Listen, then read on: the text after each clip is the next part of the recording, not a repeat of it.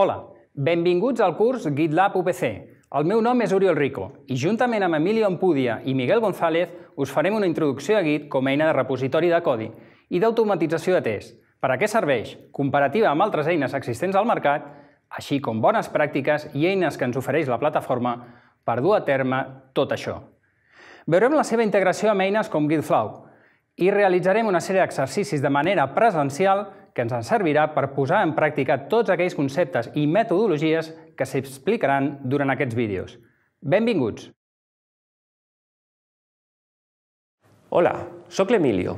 Com ha dit l'Oriol, el Git és una eina de control de versions creat per Linus Torvald, el mateix creador del Linux, i es pot fer servir per guardar tant codi font, scripts o documents. Aquesta eina ens permet controlar els documents de la nostra feina durant el temps, és a dir, podem saber les modificacions que s'han fet en tots els nostres documents gestionats durant el temps de projecte. Els canvis que anem fent dia a dia queden registrats en la línia temporal, cada cop que nosaltres volem, i podem visualitzar el seu estat en qualsevol moment.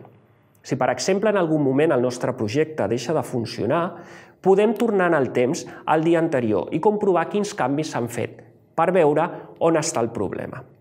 Però Git no només és una màquina del temps, també és una, és una eina per poder treballar en equip, ja que un projecte poden treballar més d'una persona. Cada persona pot registrar els seus canvis amb una data i un autor, de manera que en qualsevol moment es pot revisar qui ha fet què i en quin moment. Això és realment pràctic a l'hora de gestionar el codi font, els escrits per administració de servidors o, fins i tot, documents de text.